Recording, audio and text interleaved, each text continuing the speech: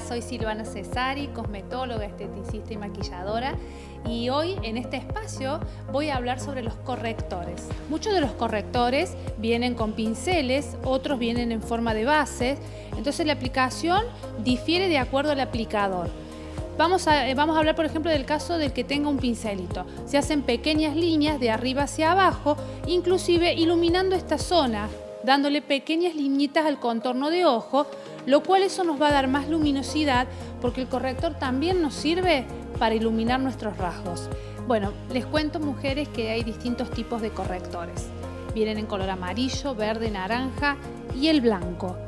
Generalmente las mujeres utilizan el blanco como mayor iluminador, pero ese corrector eh, queda muy bien en el párpado superior que nos ayuda a realzar nuestra mirada y a darle un, toque más sutil a nuestro, a nuestro ojo maquillado. Tenemos, el, por ejemplo, el color verde en los correctores nos sirven para mm, disimular todo lo que sea telangiectasia, rosácea, algún, alguna apariencia de acné.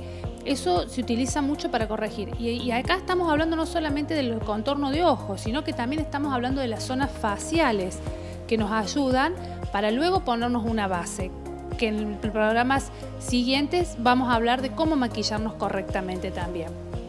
Y después tenemos otros tipos de colores. De pronto, el naranja. El naranja se utiliza para todas las ojeras de colores violáceas azuladas que generalmente están muy, muy, mm, muy concentradas y que no sabemos cómo taparlas. Bueno, entonces en esos casos tenemos que usar eh, correctores de color naranja y se disimulan automáticamente. Y después tenemos también los que son eh, los colores salmones o, amarillos, por así decirlo.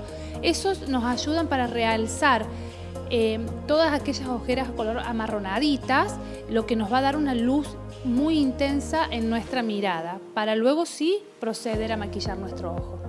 Bueno, entonces queda en claro los distintos tipos de colores de, correctores que tenemos.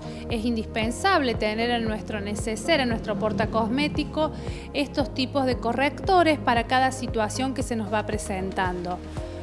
Acuérdense de no caer en el corrector color blanco. Utilícenlo en los párpados superiores para dar una iluminación o al contorno de nuestros ojos laterales. Bueno, quiero agradecer este espacio cedido por Marisa y, le agradezco el espacio también a Cintia Romina Eichmann por el espacio para esta grabación de estos tips y nos vemos en el próximo programa para hablarles sobre nuestra belleza y sobre nuestro modo de maquillarnos correctamente.